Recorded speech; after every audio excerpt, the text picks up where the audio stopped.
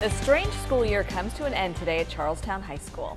WDRB's Chris Suter shows us the epic costumed countdown a teacher put on to end the school year. Good afternoon. When the last lockers close, What's up, guys? You good?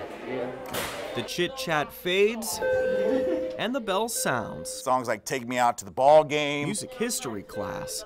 Stephen Foster is the first major American songwriter. Okay, it's not Taylor Swift. Is not the first time during the school day. Pretty much slow tempo, smooth rhythms, simple chord progressions. Nate Hayden sees his students. And I think maybe him being out there that helps, you know, put a smile on everybody's face. Except during the last couple of weeks of the school year, he doesn't quite look like himself.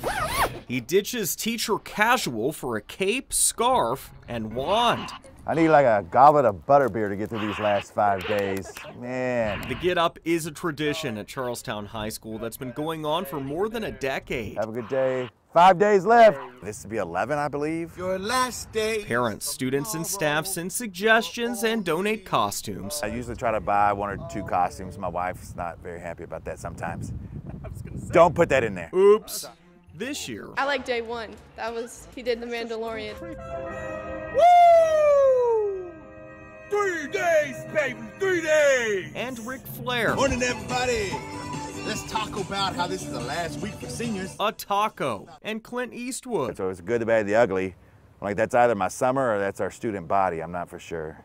But some of them didn't like that one. The eye roll from teens and one liners are part of it. Hayden donning dozens of outfits over the years. Governor Beshear during a COVID update. The Tiger King, a banana. All with a message about the end of school. Some clever, There's the inflatable T-Rex. Inflatable T-Rex, and I, I designed a sign that said, "You bet Jurassic, I'm ready." some raising a stink. I have a, I have a toilet. No. Oh, yeah. I had shorts on, the pants were down around my, and I'm sitting there. It was three days left. I was like, "Whew, three days. That stinks." Like big, the, the big three. The assistant principal really enjoyed that one, but he said I probably shouldn't do that one anymore. This isn't some waste of time. There's a reason Hayden does this in the midst of the end of the year and finals. Because it can get a little draggy and like, oh, we want to get out of here. It can be stressful on the students. It can be stressful on the teachers. Now, more than ever. And given this year, I mean, I mean, it's it's been crazy. Nate Hayden Well, y'all must be late.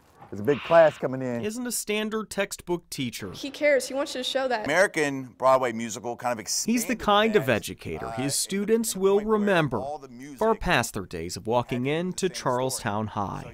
In Charlestown, Chris Suter, WDRB News. I love all the costumes. So creative too, and the toilet one just makes you laugh. That takes a lot of effort. That's not does. just throw on, you know, Yes. he actually took clothes off for that one.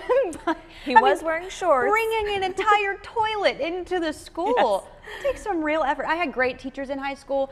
None of them did that. And of course, students are going to remember all of oh, that yeah. last day of school today. So, what a fun teacher. Absolutely. That's